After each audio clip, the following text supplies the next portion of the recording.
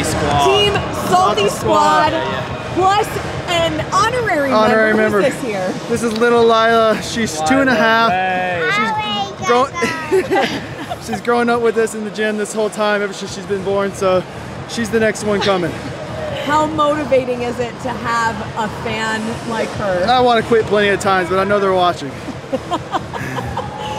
Looking at the finish you guys just had, finishing this last workout of the day, first overall, but not as fast of a finish on the first one right before this. How do you kind of regain your composure, get in the mindset to leave that behind, and then take a win out here? It's already happened.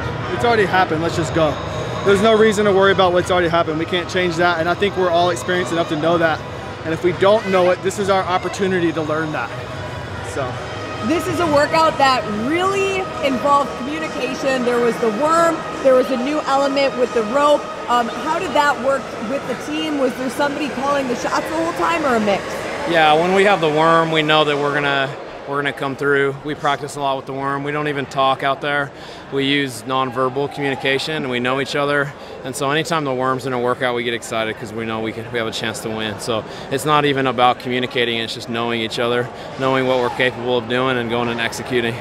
What is the best non-verbal communication that you You're- guys have? You're already doing the work. You're already a CrossFitter. You know what the movement looks like. You just got to go. And it's just that's it. You know what you're supposed to go. There was one moment where one of our teammates slowed down on the burpees, and everybody adjusted with it at the same time. And that's the that's what it takes as a team. It's like one person's tired, they can't keep up. That's fine. No reason to fight over it. Just slow down with them and keep moving. With the worm, smooth is fast. Yeah. And you can't try to go faster than your teammate. You just go together. And if your hands are on the worm, that means you're going. So if you're not ready, back up. And when your hands are re- on the worm, that means we're working. Yeah. well, congratulations, event win. One Oh, more yeah. day to go. Let's go. Oh yeah. Thank you.